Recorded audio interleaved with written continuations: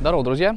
И сегодня я хочу пригласить вас на наши бесплатные тренировки по самообороне и оружейным единоборствам и немножечко рассказать о них. За те 7 лет, что мы занимаемся вот этими тренировками, мы несколько раз меняли подход, меняли концепции, и в очередной раз сейчас мы пришли к тому, что, мне кажется, финальной, скажем так, стадии развития именно концептуального подхода к нашим тренировкам, и дальше мы будем просто улучшать то, что есть.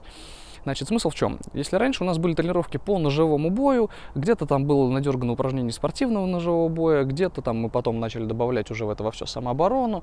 А, чем дольше мы этим занимались, тем больше шлифовалось вот это вот все, отсеивалось лишнее, понималось нужное, то сейчас мы ушли полностью от этой концепции вообще, а, потому что она ошибочна.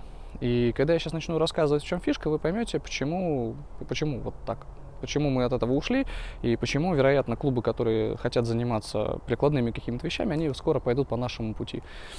Мы начали смотреть на вопрос немножко иначе. Мы смотрим сейчас не на ножевой бой, не на палочный бой. Мы говорим о том, что мы разбираем самооборону с точки зрения работы оружием, потому что оружие окружает нас так или иначе повсеместно, всегда, везде. И самообороняться надо оружием, а не голыми руками. По крайней мере, стараться это делать. Соответственно, мы смотрим на самооборону подручными средствами, подручными средствами, да, если вам больше нравится жаргон. А, а дальше что происходит? В рамках наших тренировок мы вот эти подручные средства реализовываем через предметы, которые максимально раскрывают их потенциал.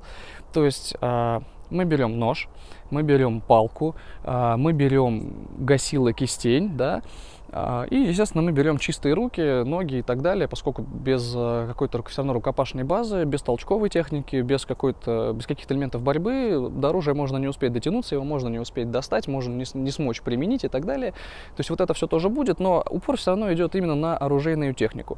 Почему мы выбрали именно три этих предмета? А, и еще Евара. Четыре предмета, да. Четыре. Ну, просто Евара это совсем уж такая тема.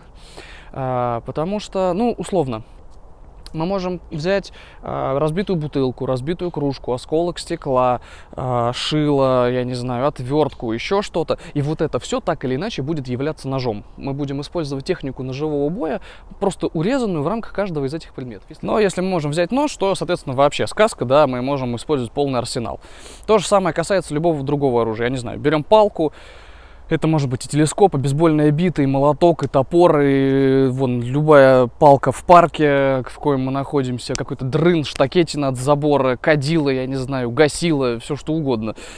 А, то есть, таким образом, да, у нас получается арсенал действий, который мы так или иначе используем в рамках того или иного оружия. Это может быть мачетина, может быть все что угодно. Просто где-то будут использоваться такие удары, где-то сякие, а где-то все вместе, да, и это будет коррелироваться, если мы говорим о длинномерном оружии, от э, конкретной длины и конкретного веса оружия. Где-то там такие немножко техники, где-то сякие, но все равно. В общем, это все будет преподаваться на палке, как неком усредненном предмете, на котором работает все. То же самое касается всего остального. Ну, понятно, что Евара это всякие ручки, фломастеры, тудастеры, не знаю. А, гасила это самый простой пример, самый вообще элементарный. Это вот вы пошли в магазин, купили себе бутылку, там, я не знаю, минералки или банку тушенки и пакет майонеза. Кинули в пакет и идете домой. У вас в руке пакет, начинаются какие-то проблемы, вот ваша гасила. Вот этот пакет, это ваша гасила. А, то есть мы рассматриваем всю самооборону как работу с оружием в формате подручных средств на неких предметах, которые являются апогеем этих подручных средств. Вот и все. И исходя из этого, есть написанная методика, она написана на год вперед, и вот за этот год вы получите, скажем так, если отходить весь год, базовые знания, базовые навыки по использованию всех вот этих предметов. И из года в год, э, понятно, что программа будет немножечко дорабатываться, немножечко видоизменяться, но из года в год ваши навыки будут совершенствоваться, потому что для более опытных бойцов в рамках заданий будут э, даваться более усложненные задания, более сложные связки и так далее. И таким образом будет происходить рост. Значит, дальше отвечаю, напоследок отвечаю на самый вообще часто задаваемый вопрос по поводу наших тренировок. Это почему, собственно, они бесплатные. Ребята, все очень просто, потому что мы сами за них платим. Мы сами арендуем зал, э, мы сами закупаем снаряжение, и вот и все. И мы хотим делиться знаниями.